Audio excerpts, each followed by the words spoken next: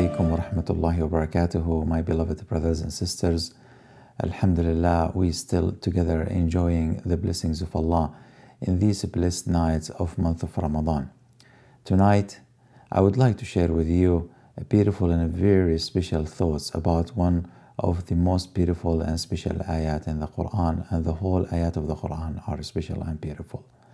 In Surah Al-Baqarah, Allah subhanahu wa ta'ala gave us an ayah that calls ayat dua the supplication ayah and the connection with Allah. This ayah, Allah attached it to the ayat of Ramadan. That's the ayat talks about Ramadan. Allah add this ayah to ayat of Siyam.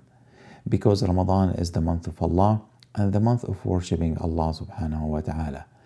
The ayah says, وَإِذَا سَأَلَكَ عِبَادِي عَنِّي فَإِنِّي قَرِيبٌ أُجِيبُ دَعْوَةَ الدَّاعِ إِذَا دَعَانِ فَلْيَسْتَجِيبُوا لِي وَلْيُؤْمِنُوا بِي لَعَلَّهُمْ يَرْشُدُونَ When my servants ask you about me, tell them that I am near.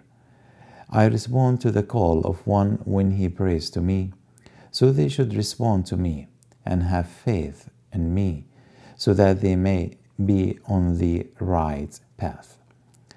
Let's go together to with the Imam Ibn al-Arabi al-Andalusi Qaddasallahu sirra and let's hear from him his beautiful thoughts about this ayah. So the ayah has four parts. One is the su'al, the question from the servants who are seeking Allah and asking about Allah. Second one is the response of Allah that's telling us about the nearness of Allah. Third one is the response of Allah to the dua that comes from His servants. And the fourth one is the response of the servants to the guidance of Allah and receiving the teachings of Allah and let it reflect in the pureness to his heart. The first one, the first part is the su'al. The Imam said that وَإِذَا سَأَلَكَ عِبَادِي When my servants ask you about me. Imam Ibn al-Arabi here told about told us about this ibad. Who are they, these ibad? He said, Those who seek Allah subhanahu wa ta'ala and those who turn from everything to the one thing which is Allah subhanahu wa ta'ala is through the ma'rifah of Allah. That's these people, as-salikun, al-talibun, al-mutawajjihun ila Allah subhanahu wa ta'ala an ma'rifatihi. So he described them as this as those who are seeking Allah subhanahu wa ta'ala, Allah described them as the seekers of Allah. Those who seek Allah subhanahu wa ta'ala and search for Allah and they want to know more about Allah subhanahu wa ta'ala. And they want to reach to Allah. So Allah is their target, is their goal. They want to get to Allah subhanahu wa ta'ala. And the reason of the su'al, they asking about Allah, because they have witnessed Allah through His universe, through His creation. So they witnessed His beauty and they witnessed His majesty and His strength and His power.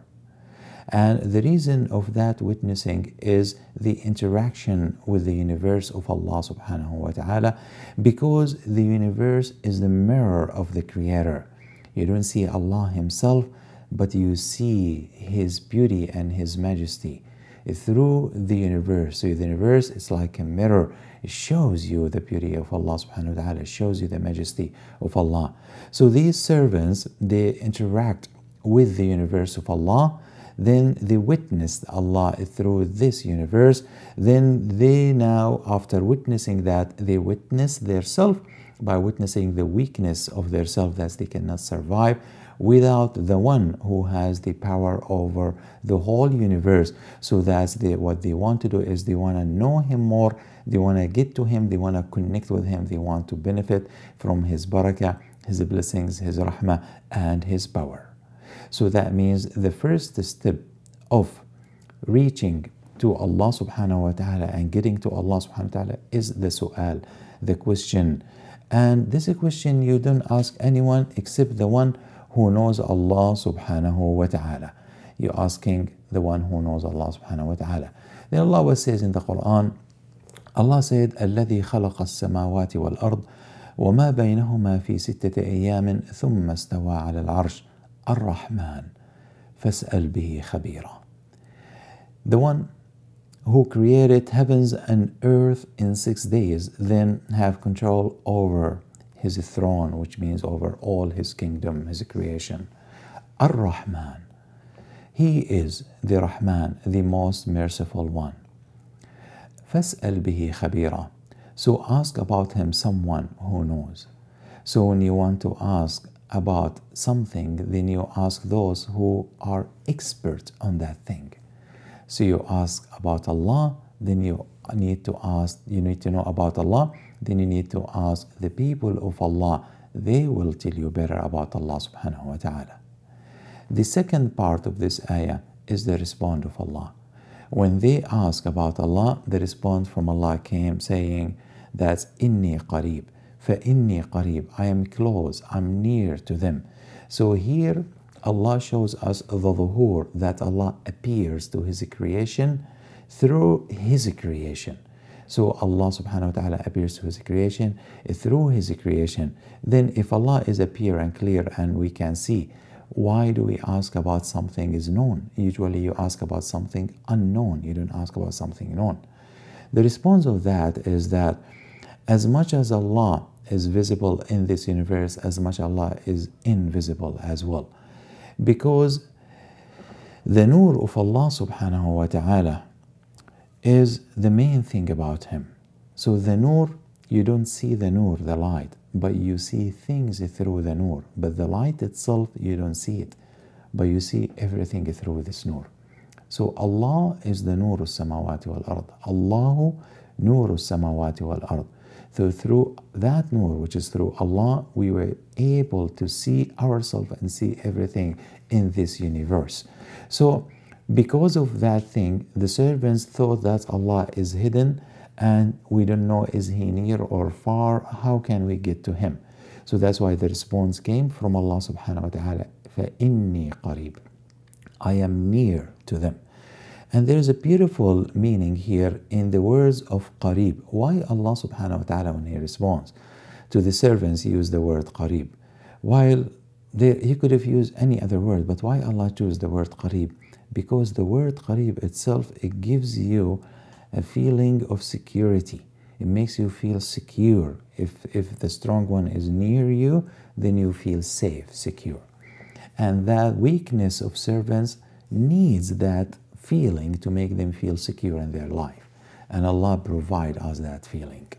The second one is that your goal to show us, to show you that your goal, Allah subhanahu wa ta'ala, that you are seeking to get to Allah, is close, qareeb.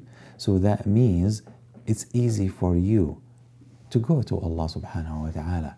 But if you know that Allah is far, you might give up in taking the way to Allah because it's too far.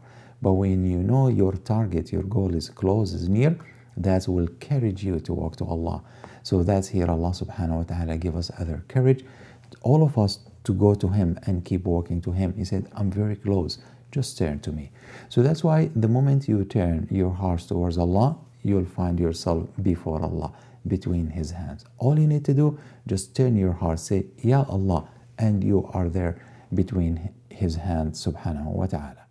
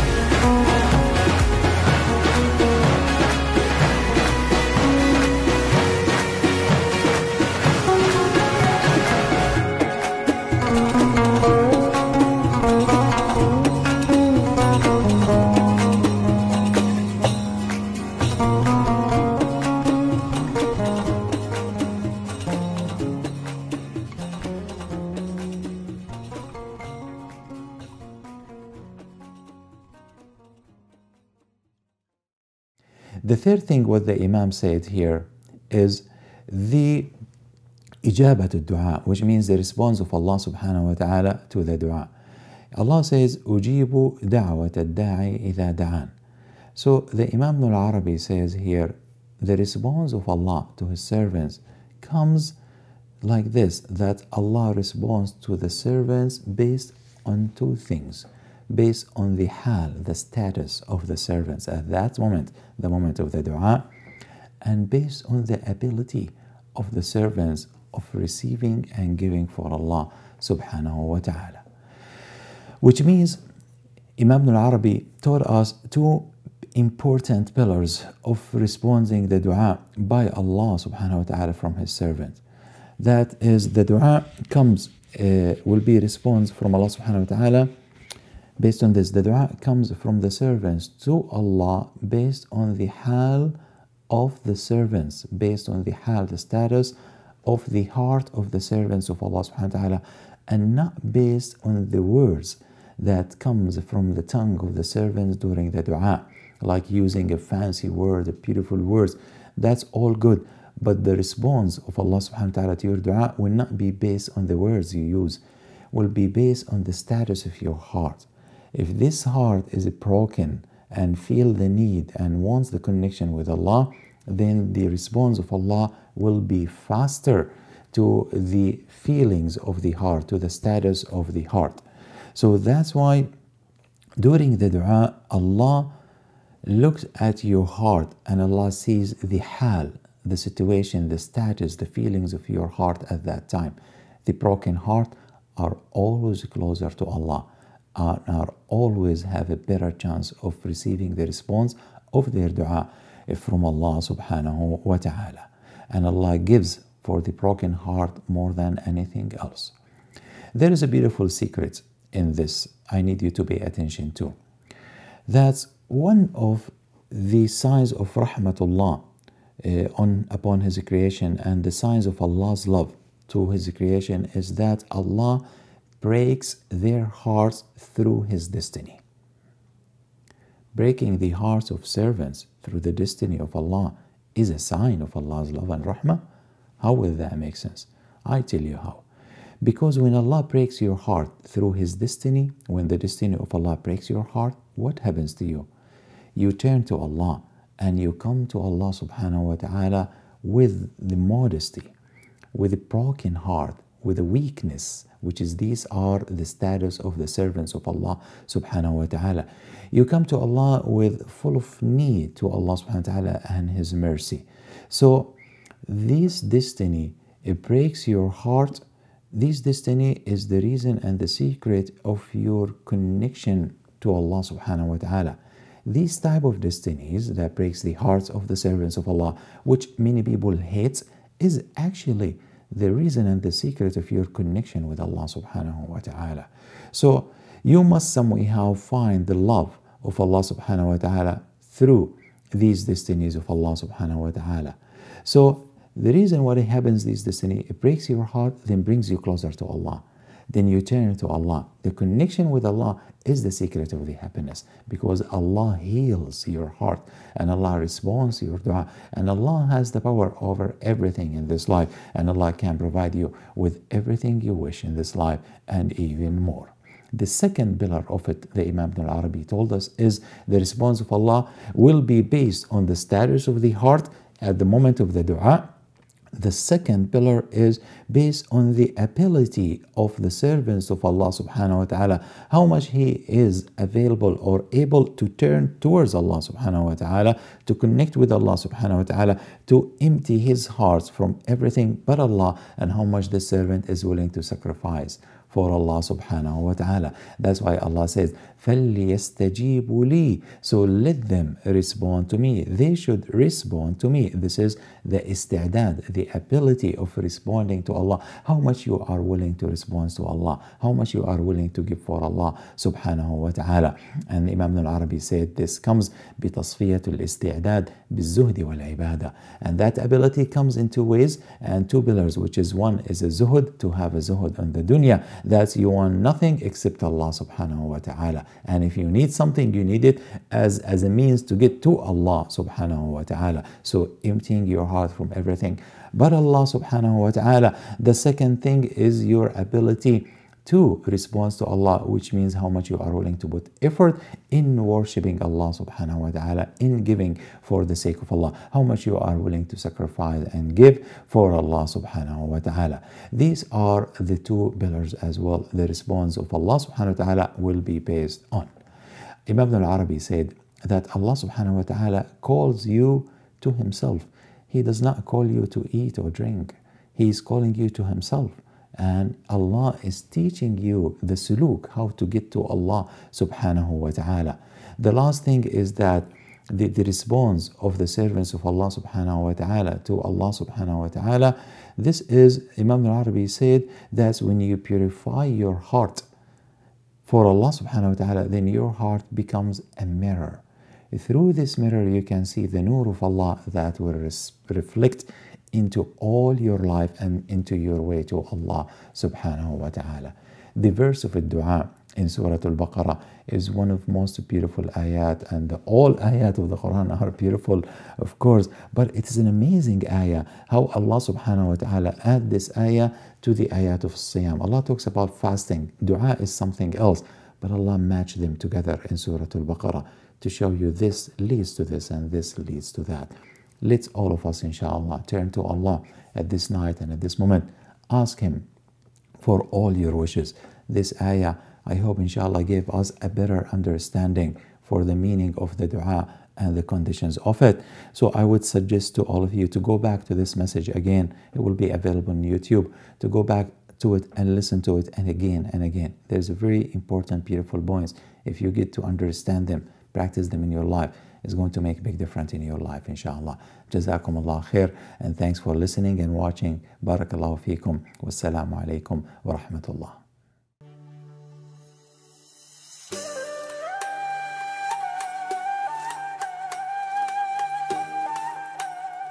Ramadan and Eid Mubarak to you and your family. Chef Ami will cater traditional home cooked meals from our kitchen to yours. We create our own authentic, mouth-watering meals from scratch. Chef Ami has been nominated for various home cooking awards all around the world, and we are so excited to start cooking for your family. Our catering ranges from appetizers such as samosas, chicken rolls, pakoras, chicken croquettes, various types of chaats, to main course meals specializing in continental and Pakistani cuisine we know that we will not disappoint. For the working family who does not have time to cook, we offer special services by creating a weekly meal plan catered to your family. Follow us on Facebook and Instagram at Chef Ami. Jazakallah for the opportunity in, in advance to cater for your next party and your next meal. Bismillah ar-Rahman ar-Rahim. Assalamu alaikum wa rahmatullah. Welcome to our first episode of our Ramadan reminder series. I welcome you and your families. And I pray and hope that Allah subhanahu wa ta'ala gives you all the best of this month of Ramadan, accepts all of your good deeds and your fasts and your du'as. And may Allah subhanahu wa ta'ala be pleased with us all. I want to start off by uh, reminding us that whenever we go into this month of Ramadan, we should have the hope of getting closer to Allah subhanahu wa ta'ala and bettering ourselves as a human being uh, and better ourselves as a Muslim. And uh, in the month of Ramadan, we have to understand that Allah has magnified the, the, the reward of doing good deeds more so than throughout the rest of the year. So it's it's important for us to try our best to acquire as many good deeds and blessings as possible in this month we know that the main action is the fast that we do in the month of Ramadan. And the reward of that fast is with Allah subhanahu wa ta'ala. And we don't know how much we are about to be rewarded in the akhirah for the fast that we do. And the action of fasting is so pleasing to Allah subhanahu wa ta'ala that just the fact that we're doing that action, we should be so happy about it. Uh, despite how difficult and strenuous it is on our mind mentally and our bodies physically. And, and it is it's true, it's okay to say that, uh, but that's why the reward is so high that we are doing this action only for Allah subhanahu wa ta'ala. And no way in our like no one in the right mind would fast for anyone except for God himself for Allah subhanahu wa ta'ala. Uh, and he's the only one that really knows if we're fasting or not. Uh, so if we think about it in that perspective inshallah it'll make the fast easier and make it more fruitful just the action of fasting. Uh, moving forward, I want to give us three tips and goals that we can set for ourselves in the month of Ramadan. The first uh, goal would be setting a spiritual goal, uh, some type of ibadah, some type of worship. And the second goal would be some type of physical goal that we, uh, we set, some type of activity physically that we do to make ourselves physically more uh, better and more active. And I need that advice more more than anyone. I'm really hoping that I can use the month of Ramadan to increase my fitness and my physical health. So that would be really good for me, myself to do. And I advise all of us to do the same thing. Uh, the third advice or goal that I would say we should have is a social goal, something that we do to uh, make humanity better, something that we do to make our akhlaq and our mannerisms better. And uh, I'm going to go and break down all three of these goals uh, very quickly and hopefully simply the first goal, the spiritual goal, some type of ibadah, some type of worship that we do, uh, I would advise that we pray Quran after Salatul Fajr. And the reason I say that is because there's multiple blessings for doing that, and it's not too difficult for us to do it. Uh, after Salatul Fajr, just you know, for a couple of minutes, if we can just uh, open the Quran and read it, and consistently do it, and um, that would be great.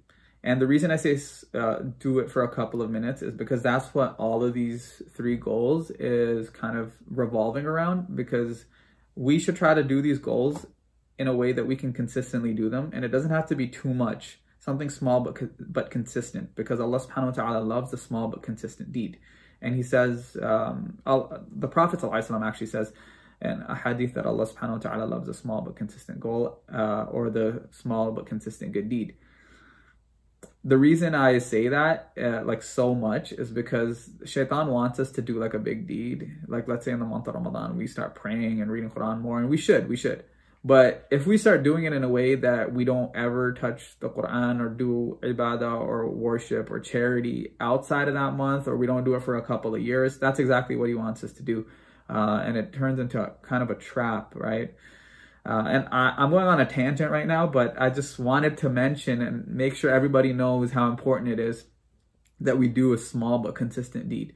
To start off, I would say Salatul Fajr. Right after that, we read some Quran. And the reason for that is Allah subhanahu wa ta'ala says in the Quran, Inna Quran al-Fajr kana mashhuda, that indeed the Quran of Fajr is the one that is witnessed by the angels. And it is uh, filled with blessings. So if we're already up for a sehri and we're going to pray fajr because it's so easy for us to do that, we already woke up to eat, uh, then may as well add a couple of minutes after we're done fajr and read the Quran. And the second blessing that we can attain is the blessing that the Prophet ﷺ said we get for staying in our prayer spot after we are done praying instead of hastily getting up and going. Uh, there's tons of blessings just for staying in our spot. So may as well read Quran during that time. Uh, and the second goal is that we can start adopting would be like some type of physical activity. I would say go for a walk after iftari or do some type of physical act, even if it's like five, 10 push-ups, whatever we can do. I need to do that more than anyone else. That's why I'm saying it. But I think that it's important for us to do some type of physical activity to make ourselves physically better.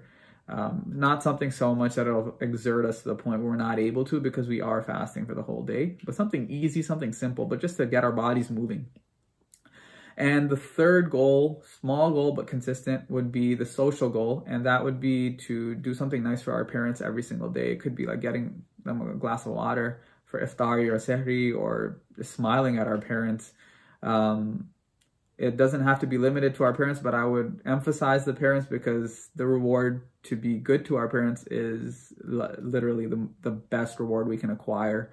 Uh, but if we can think of something else, like it could be cleansing our heart from any ill feelings for anybody and uh, just, you know, for, uh, forgiving and forgetting um, to act nicer and have more patience when we're uh, when we're dealt with people that we don't like or we someone says something that we don't like and just practice more patience but something small and consistent that we can do i would say um, inshallah, that's what I would give to myself and for the rest of us to do every single day in the month of Ramadan. I think that's like a small but attainable goal that we can have. Um, and it's very important that we do it small and consistently, not doing it more than we are able to do. One day, let's say we're feeling it and you know, physically or spiritually, we're just on a spiritual high and we're like, oh, I can read this much more, I can give this much more charity. And then later on we don't do it anymore we just give up on it because we think that that one day of us reading Quran is uh, is okay for another 50 days or like five years, whatever it is. Um, I the reason I like, not to say that that one sitting of Quran is not important. I'm just saying that in order for us to adopt good habits and to consistently do well, we have to pick something that's small that we can do on our worst day, not on our best day. Something that we can do on our worst day, uh, because let's say we are feeling that we can do more, give more charity, or do more of an ibadah, I would say pick an amount that even if you are feeling really, really good about yourself, that you don't hold yourself to that standard. Let's say one day you and I feel like we can read for half an hour, one hour, two hours of Quran, or we can give like a lot of charity. Then fine. I'm not saying don't do it. If you can financially and physically manage to do that, then by all means do it. But do not hold yourself to that standard every other day moving forward. The standard that we set is that five minutes of Quran or that one dollar a day of sadaqah, whatever it is. That's the standard we set we have to do. But if one day we feel like doing more, by all means do it. But don't hold yourself to that standard every single day because it's going to be too difficult to consistently do it. That would be my best form of advice for myself and everyone. And inshallah, may Allah make it easy for all of us to together get the maximum out of this month. And may Allah make it easy, successful, accept all of our good deeds, be pleased with us, accept our fasts and our du'as, and make this month easy and successful. With that, I conclude. And until next time, Assalamu alaikum wa rahmatullah.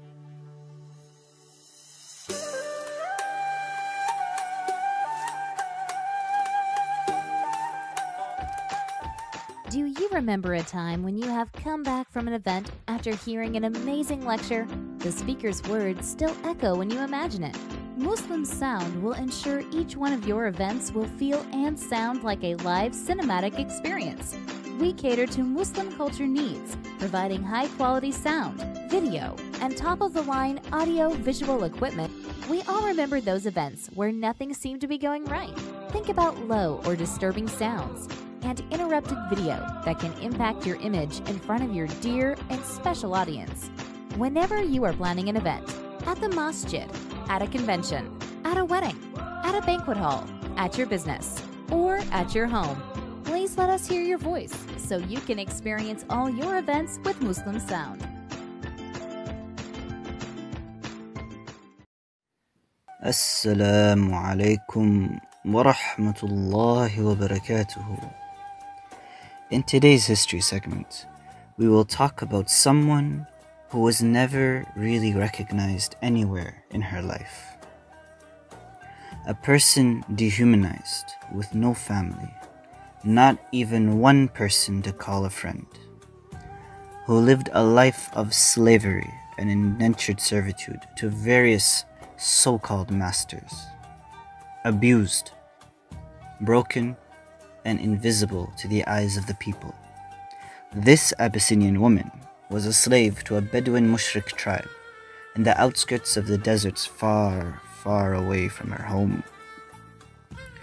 One day, she was ordered to carry an expensive material that was beautified with jewelry used to show the status of the woman who wore it. Now, naturally, this is a very sensitive task, so the slave woman must take care. But out of nowhere, a bird came and stole it from her hands. When the Bedouins came to find out, they accused her of stealing it and beat her very badly, not accepting anything she had to say. She was absolutely voiceless. But then the bird came and dropped the expensive shawl between all of them. And that's when the tribe realized that they've done their slave girl a huge evil. So they felt bad. Yes, even their hard hearts can feel bad, and let her go. But as a black woman wandering the hot deserts of the foreign Arab lands, she was more alone than ever. She doesn't belong to any tribe, which is like today, not having any country, no citizenship, just invisible. No one knows her, no one cares about her. However, she heard of this place called Medina, I'm sure you all have as well, where the poor, the misplaced, the downtrodden, and the weak are empowered. She entered the blessed city of Medina, passing many people, still invisible. Even you and I won't recognize her worth. But the Prophet ﷺ instantly knew the value of this Abyssinian woman, and he knew instantly what kind of suffering she went through. She was not like any other former slaves who make up a huge population of the Muslims. Upon meeting the Prophet ﷺ, she, right there and then, became a Muslim, and she interpreted that her entire life suffering was meant for her just to meet the Prophet ﷺ. To stand in his presence made it all worth it. She found the religion of Islam that finally uplifted her. And her friend, her first friend, was none other than our mother Aisha radiallahu anha. The Prophet made her a house, even inside the Prophet's masjid, a home inside a home, similar to how Prophet Zakaria salam built for Maryam salam in the masjid. Do we still not know who she is? Is she still invisible to us as she was invisible to everyone else? Her name was Umm Mihjan. Still not ringing any bells? The woman who cleaned the masjid, perhaps. She was living in the masjid and took it upon herself, despite the fact that she is old and weak, to clean the mosque. She did not exempt herself from serving in the cause of Allah she cleaned the mosque without anyone telling her to do so. She saw the opportunity and she stayed consistent in it as well. She never belittled her task as a woman who cleaned the masjid. And she never cared that she never had any degrees or any kind of high status. It never bothered her that no one recognized her. Eventually, one morning, the Prophet ﷺ missed her. He asked the companions, Where is the woman who was sweeping the mosque? And they said to the Prophet that she died at the night time and you were sleeping and we didn't want to bother you. So we did the janazah prayer and we buried her, thinking that she was of no one of any value. The Prophet ﷺ became angry and sad. Angry because how could the Sahaba not see the value in her? And sad that a wali of Allah died and he didn't get to pray the janazah for her. And so the Prophet ﷺ called the companions and told them, Show me her grave.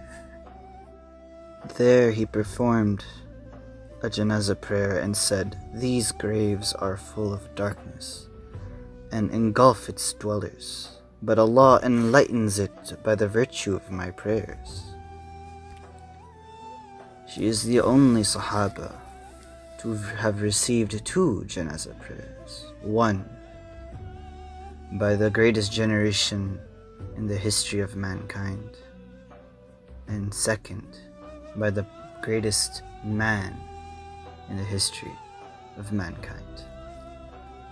May Allah have mercy on Umm Mihjan, a poor but great woman who the Prophet ﷺ prayed over her tomb.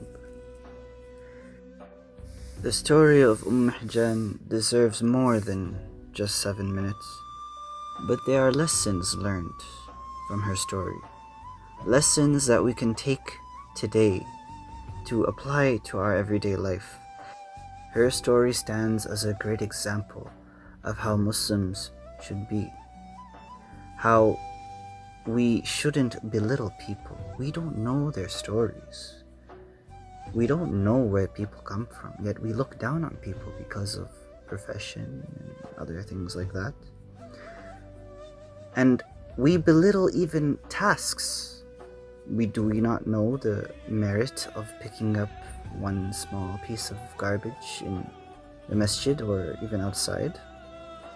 What happens when you remove a rock from the street that could bother someone?